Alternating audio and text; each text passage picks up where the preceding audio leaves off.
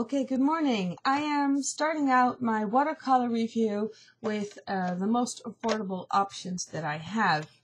Um, the thing is with watercolor that the cheapest stuff is, in my opinion, uh, no use. Um, you can buy these boxes with 20, 24 tubes of watercolor, really cheap, um, but I don't like them. Uh, they don't have very good pigments, so you can't mix them very well. Um, they are not light fast, so uh, when you um, expose your painting later on, the colors will, will wash away in no time.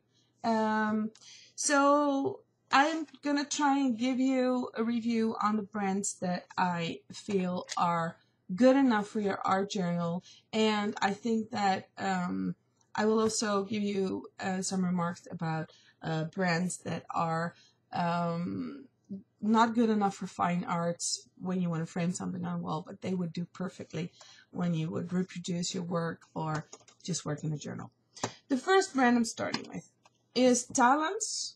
It's it's a Dutch brand. I will show you a, a few more gradations of quality of this uh, of this um, factory. It's Talens. It's um, watercolor, transparent watercolors. And there is, uh, it's got 24 pans, big pans. This looks a lot like um, the watercolor paint that you get in uh, elementary school. This is the opaque version. So you would call this gouache.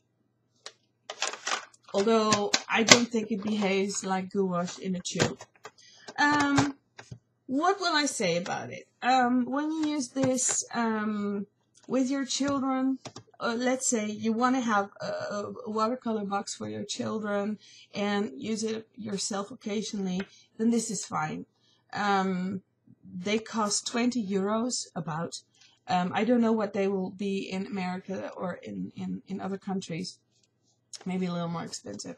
Um, this is school quality. And with school quality, I mean um, elementary school quality. So it's not very good. The colors, they are not as um, bright as the more expensive brands, and um, they will fade very soon. They are not as well mixable. But of the cheap brands, of the cheap versions, I think that this is the starting quality that is acceptable. So that's why I'm showing you this.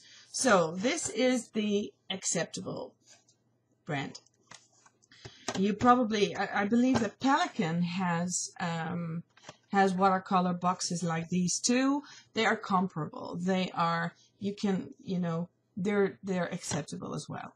So if you are starting out with journaling or illustrating, or if you just draw for a hobby every now and then, occasionally, and you might want to use watercolor every now and then, um, then you could buy a box like this. Then, you know, then you could say then you could ask yourself if it's worth buying a more expensive brand.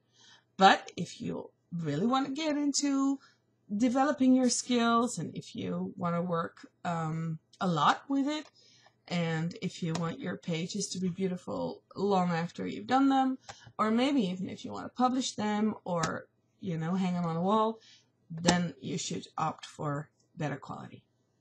So, acceptable, and that's it.